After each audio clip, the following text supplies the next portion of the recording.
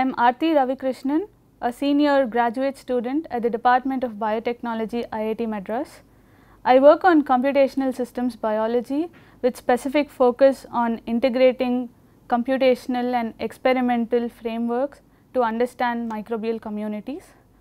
In this lecture, I will be walking you through 13C metabolic flux analysis using mass spectrometry. In this section, you will be getting an idea of what exactly is 13C metabolic flux analysis and the basics to performing C13 MFA. Good morning. So, today we will be looking at C13 metabolic flux analysis using mass spectrometry. So, this lecture would give you an idea of how to carry on metabolic flux analysis using label substrates such as C13 labeled glucose and find out how the glucose is getting incorporated in different uh, metabolites inside the cell.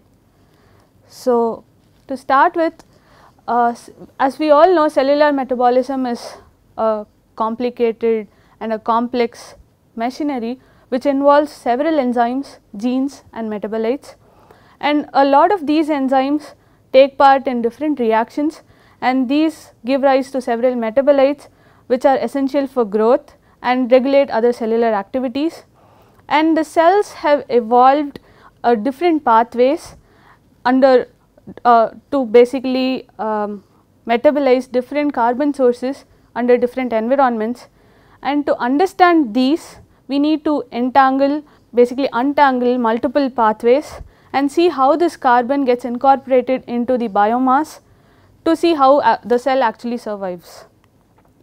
So, there are two different broadly classified techniques to understand these pathways. The first one is computational and the second one is experimental.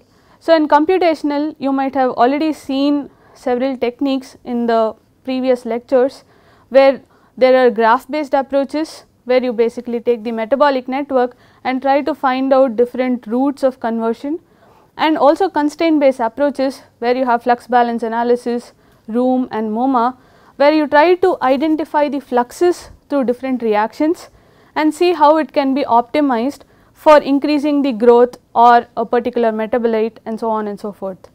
Whereas in experimental there are multiple techniques to understand these pathways how uh, so, uh, something like metabolic control analysis where you have a smaller pathway and you take only the few enzymes which are involved in that particular pathway and try to calculate their kinetic coefficients and also C13 metabolic flux analysis where you trace how the substrate gets incorporated into the biomass and also take the and also understand the pathways in which this substrate gets incorporated.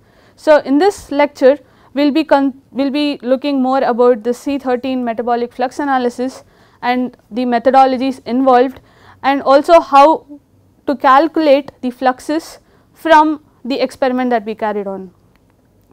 So, before we go into calculating fluxes, we should first understand why should we calculate fluxes. So, what is the importance of fluxes when you take a cellular metabolism? So, these fluxes are an emergent property of a metabolic network and also they help you understand the metabolic regulation that happens inside the cell say under different environmental conditions. For instance, you give glucose to the cell, you give xylose to the cell, you do not know how the cell acts to this particular carbon source. So, if you understand and calculate the fluxes, you would be able to say that okay this is the pathway that is being involved in uh, in metabolizing this substrate and so on. So, this is basically to determine the in vivo activity of a pathway and to understand the metabolic regulation and as I already said it is an emergent property of the metabolic network. And also these fluxes are essential to optimize pathways in metabolic engineering. So, in metabolic engineering the goal of a particular process is to overproduce a product. Say for example, you want to overproduce lycopene, you might want to understand what are the pathways which are involved in the production of lycopene and thereby see how to overexpress the um, genes which are involved in that pathway to produce more of your product.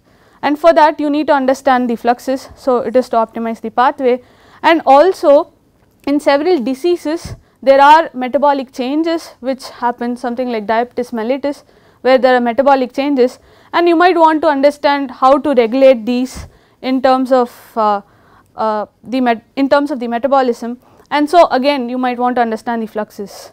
So, again to identify the disease states. Having said that I would like to move to the principle of how we carry about this C13 metabolic flux analysis in experiments. So, consider two systems I mean consider uh, two different systems where you have a pathway in the first one here. And this is basically a depiction of a yeast cell where you have multiple pathways that act in tandem and produce biomass. And you might want to trace the fate of this particular source that you give and see what, what are the products or what are the pathways which are activated based on this particular substrate.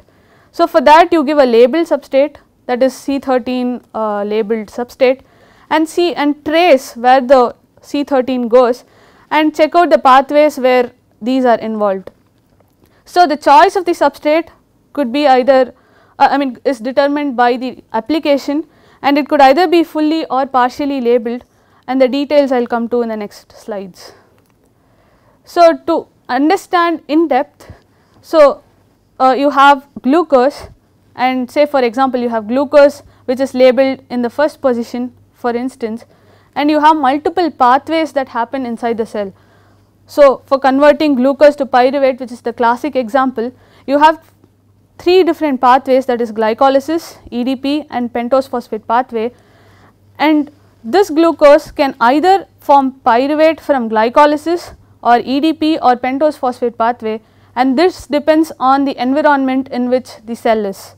So, if you are able to observe labels like this where you have the label in the first first position you might want to infer that it, has come from EDP and if you have label in the other position you might want to infer that it comes from glycolysis and if you have no labels at all it comes from pentose phosphate pathway. So, this is just a general representation of the principle of C13 analysis.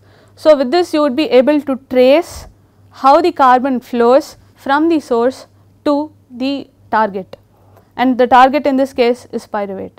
So, uh, when I was talking about this um, particular pathways and how to identify them, so here comes the choice of tracers. So, earlier I was telling you that if the pyruvate is coming from pentose phosphate pathway, it is not going to have a label.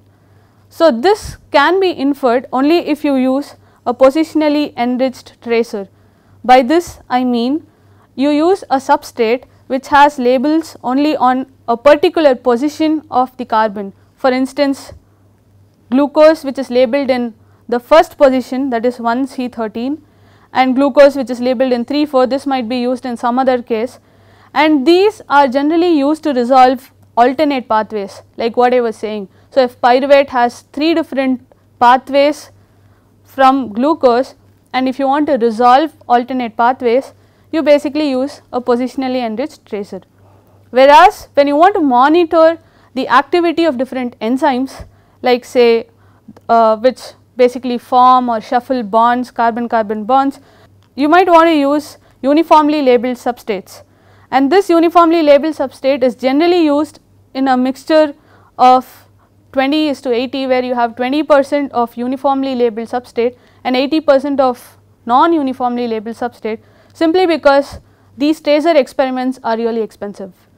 So, uh, these are the common terminologies which would which one would be using when you are doing a C13 metabolic flux analysis. The first one is isotopomer and the second one is isotopolog. So, isotopomers are nothing but the molecules which have labels at different positions.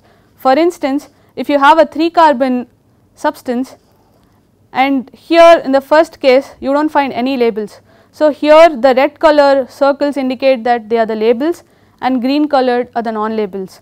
So, this the first one is an isotopomer whereas M plus 1 can mean that it has label in one of the positions. So, it could mean either in the first position, second position or the third position and these collectively are called isotopomers and similarly for M plus 2 and M plus 3. Whereas isotopologs are a collection of all these molecules which have labels at different positions and these, these joint combination of molecules are called isotopologues.